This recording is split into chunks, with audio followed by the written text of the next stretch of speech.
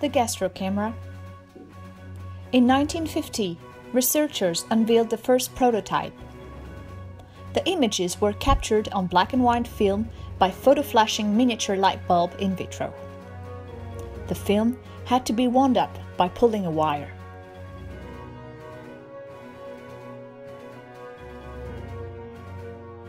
The endoscope. A new material called glass fiber developed in the United States in the 1960s.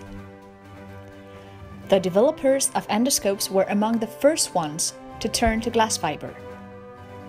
The gastro camera with a fiberscope eliminated the weaknesses associated with eyeless gastro cameras at once.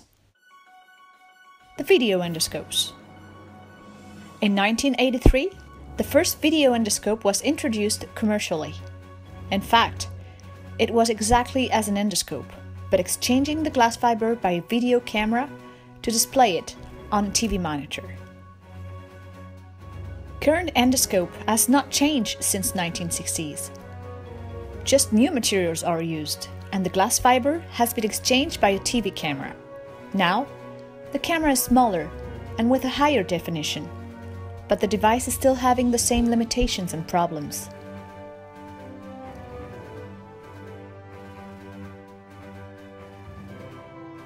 The future. Dimoen has been developed from scratch to be the 21st century medical device. It does not have limitations of the current endoscopes.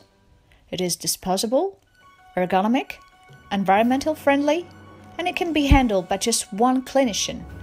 And with the joint venture with Singulabet, it will also be a PDT, photodynamic therapy device, for the fight against cancer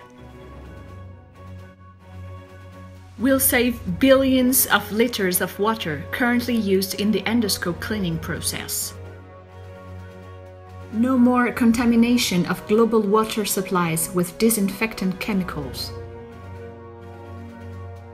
Since the device is disposable, hospitals will save millions as there will be no need to clean and store endoscopes. Kindly contribute or share to help the cause.